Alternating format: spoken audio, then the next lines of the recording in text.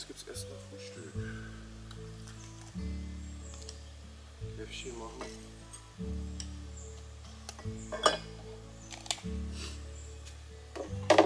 Da ist hier so ein Frühstücksfleisch mit zwei Semmeln hab ich noch. Und dann muss ich mich heute erstmal um Einkäufe, Strom etc. fahren äh, mit der Powerbank. Das haut nicht so richtig hin. Wohin gedreht, weiß ich auch noch nicht. Warten wir mal ab, was der Tag so bringt.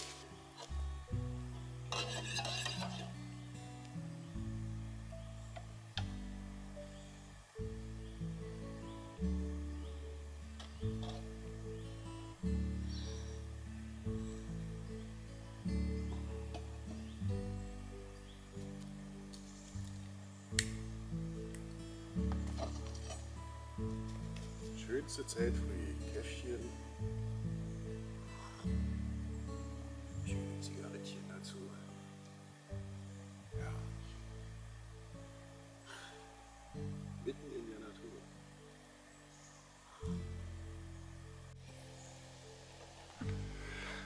Esel ist wieder gepackt. Platz sauber hinterlassen. Jetzt kann es losgehen. Um halb zwölf. Ja, ein bisschen sehr spät, aber ist ja Urlaub. Kann man ja auch mal ausschlafen. Bis auf die Strecke dann.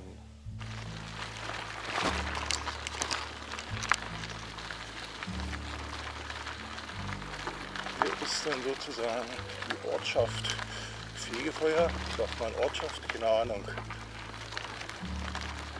Ja, bin jetzt gestartet. halb zwölf, sehr spät. Naja, aber wir haben ja Urlaub, insofern alles gemütlich. Hier geht's jetzt mal richtig hinaus. Oh je, das gleich früh am Morgen. Hui, hui, hui.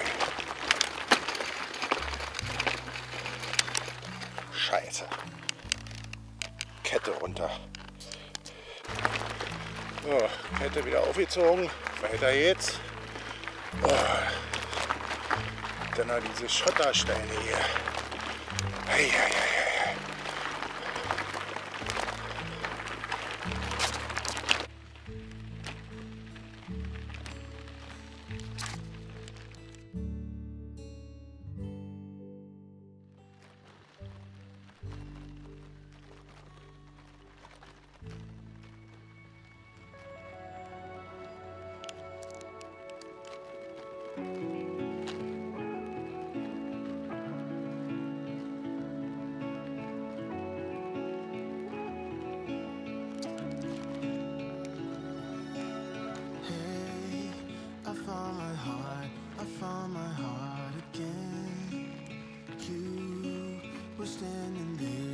Schöne alte Kirche hier. Müsste Küstrinchen sein, der Ort. Until you knocking at my door. It's hard to be, it's hard to be this real. We can play our favorite song, dancing to it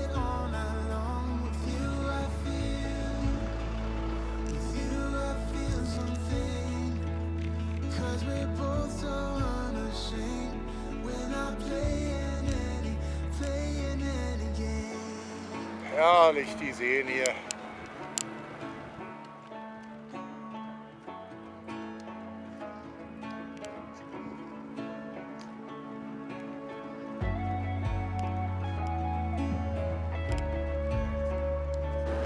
Die Schreibermühle.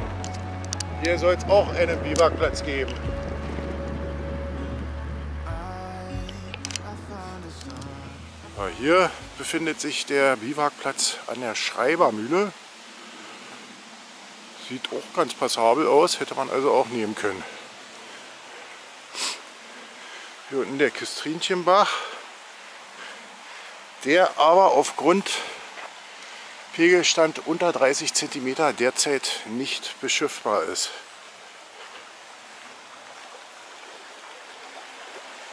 Ja, das sieht wirklich ein bisschen wenig aus. Hier ein bisschen tiefer. Schlängelt sich schön hier lang. Ist derselbe Bach, wo ich vorhin auch am Biwakplatz Fegefeuer war. Sehr schön. Jetzt die ersten 10 Kilometer weg. Rollt ganz gut. Sonne brennt nicht. Ja, die sich ein bisschen. Müssen wir jetzt irgendwann mal um Getränke kümmern. Hals ist trocken. Brauchen Nachschub. Gut, bis später denn. Kolberzer Mühle hier.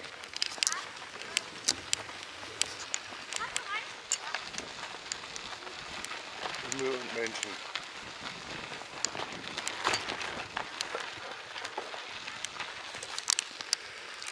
Hier steppt der Bär.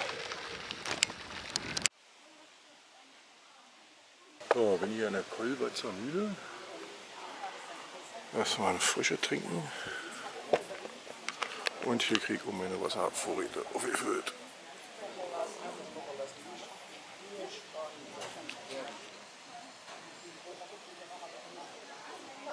ist das Sonnentor. Na, mal sehen, die Sonne heute noch kommt. so, hier an der Kolberzer Mühle verlassen wir Brandenburg und betreten Mecklenburg. Mit Schranke und Zoll. Amtmann. So, nach kurzer Bierpause an der Kolberzer Mühle weiter jetzt Richtung Feldberg. Hoffentlich. Ich weiß nicht, wo ich hier lang fahre durch den Wald. Aha, mal schauen.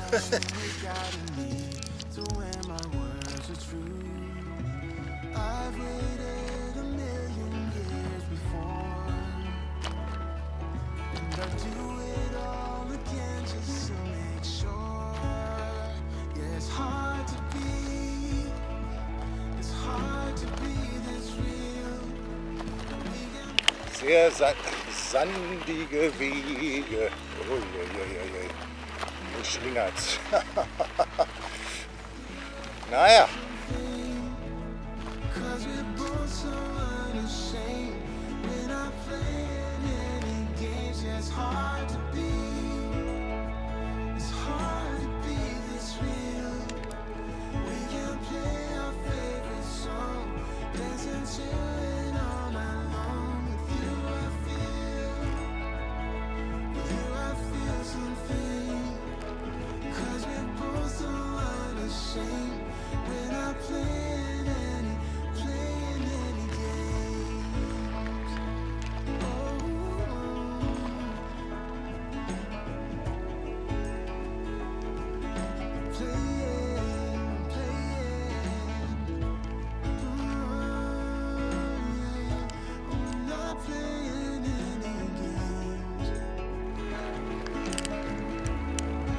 Feld voll Sonnenblumen. Und andere Seite auch. Herrlich.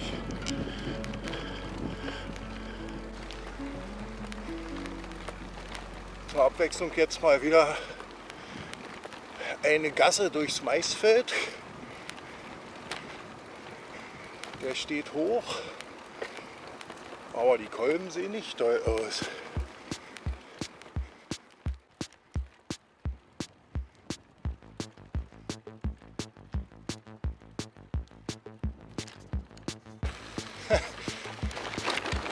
Ins Grüne heute getroffen.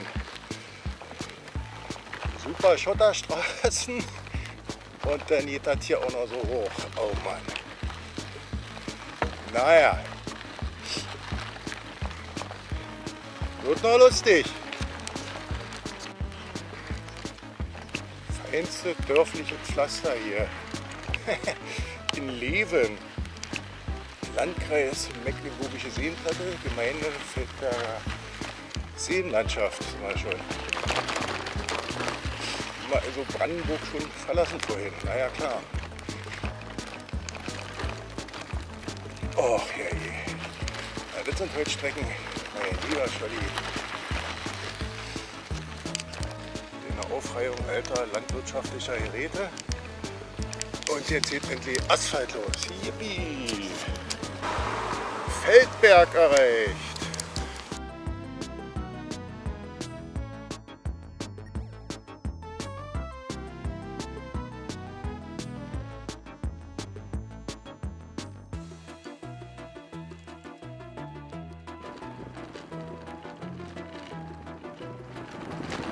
Feldberg liegt jetzt hinter mir, jetzt geht es weiter auf der Eiszeitroute.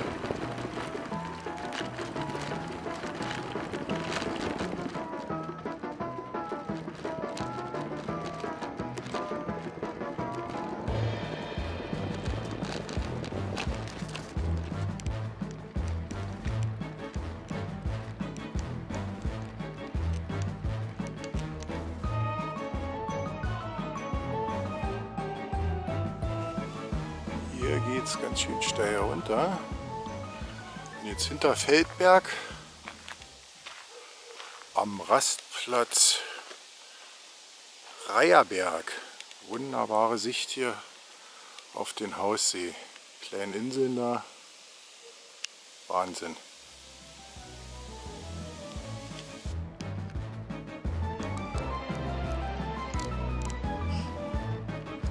Der Weg schlängelt sich hier herrlich an den Seen entlang. Jetzt erst der Haussee, dann kommt der Luzin. Breiter oder großer Luzin.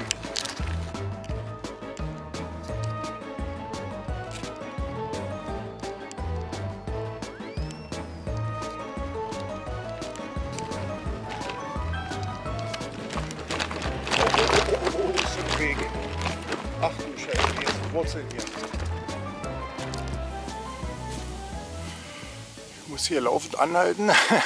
Erstens wegen der deftigen Anstiege und zweitens erstmal ein Päuschen wieder. Eiszeitroute, hier ist es ausgeschildert. Und hier unten ist der Übergang zum Luzin.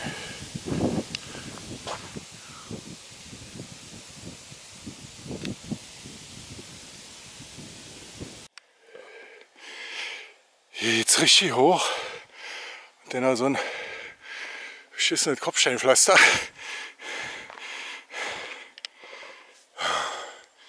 Jetzt muss ich erstmal schieben. Hier geht gar nichts mehr.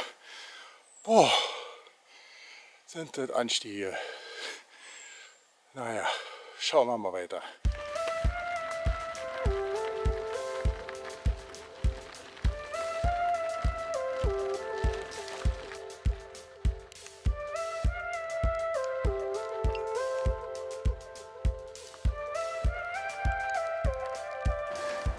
So, diese Schotterstrecke erstmal durchfahren. Jetzt kommt erstmal ein Stück Asphaltstrecke. War jetzt sehr zermürbend. Ist auch schon dreiviertel vier. So komme ich ja ganz langsam voran. So, ich muss erstmal gucken hier.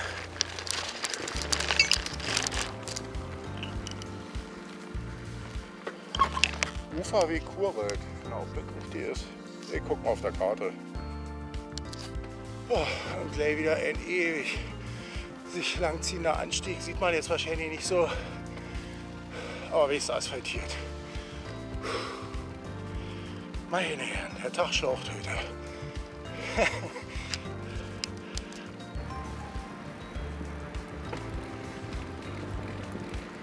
Nach Lichtenberg.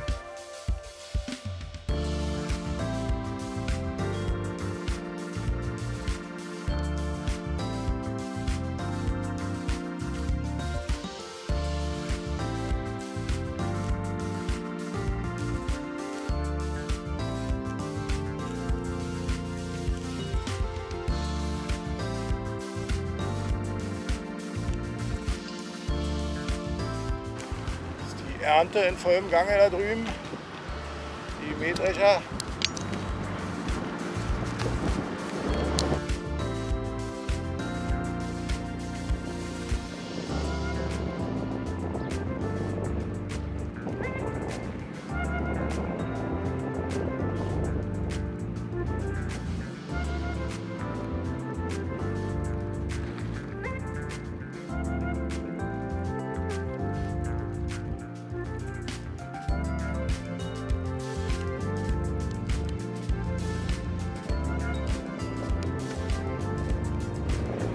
Jetzt rollt's. Jawohl.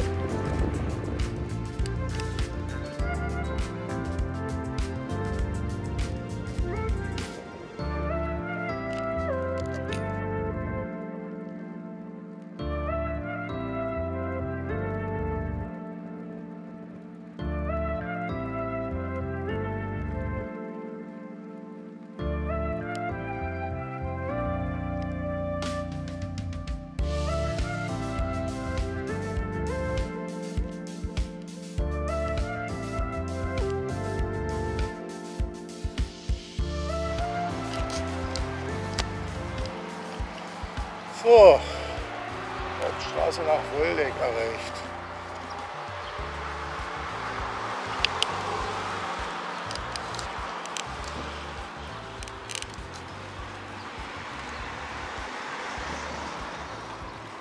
Göhren heißt der Ort hier.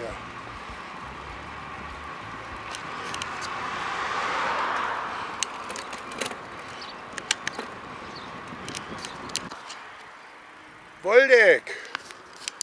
Jawohl. Oh.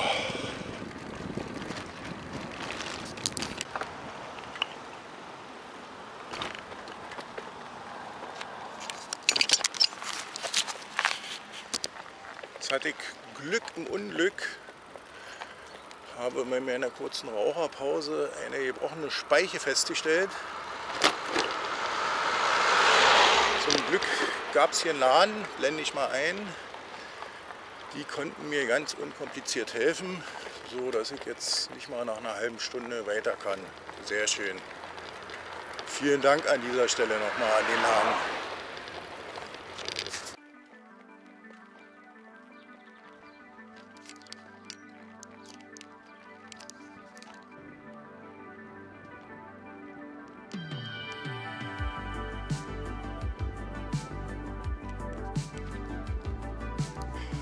Hier ist er, der Helpter Berg.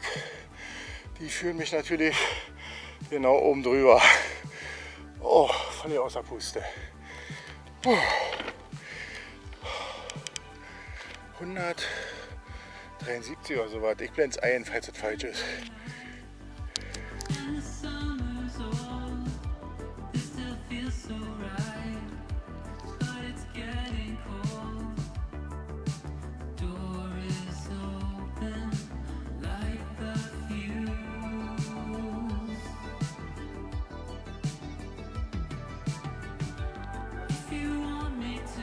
Fazit des Tages waren heute so um die 60 Kilometer, reichlich Höhenmeter. Aufzeichnung für Relay habe ich leider vergessen. Hätte mich selber interessiert, wie viele Höhenmeter das waren. Speichenbruch, aber mir konnte da schnell geholfen werden in Wolgast. Ja, und einen guten Platz gefunden hier. Bitte da. Einzige ein bisschen Krach macht, sind die Mähdrescher, die aus der Richtung kommen. Die sind voll in der Ernte. Na gut, dann sage ich mal Ciao für heute. Da hinten geht gerade die Sonne unter und es hat angefangen zu regnen. Hier prasselt mittlerweile voll der Regen. Orkanartige Windböen. Aber zum Glück bin ich hier in dieser Hütte. Mein Zelt hier unten, also nur das Gasezelt mit dem Schutz aufgebaut. Junge, Junge. Das hatten sie aber nicht so vorhergesagt.